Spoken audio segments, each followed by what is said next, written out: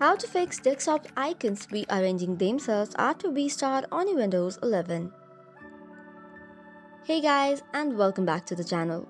So here are some of the steps that you can take in order to fix this issue.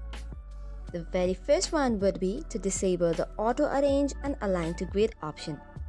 For this, right click on the desktop and then select the view option. From here, make sure you disable two of the options called as auto arrange icons and align icons to grid. You just have to click on it to uncheck.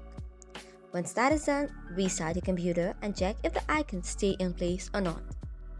Likewise, the second option would be deleting the icon cache files. For this, click on the Start button and go to File Explorer. Once you open the File Explorer, go to this PC and open the C drive. Now tap or click on the three dots and then go to Options. Then go to the View tab and select Show Hidden Files, Folders and Drivers and click on Apply and OK. Once you have applied and OK, you have to navigate to C drive, your users folder, your username folder, app data and local.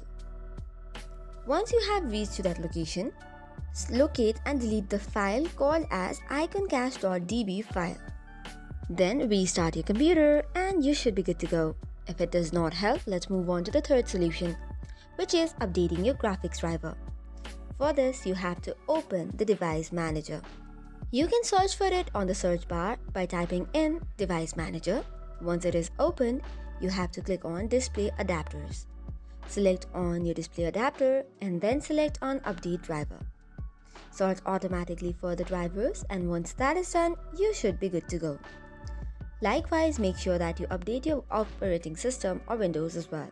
So this is all for today's video. For more such contents, do not forget to hit the like and subscribe button. Thank you and keep watching.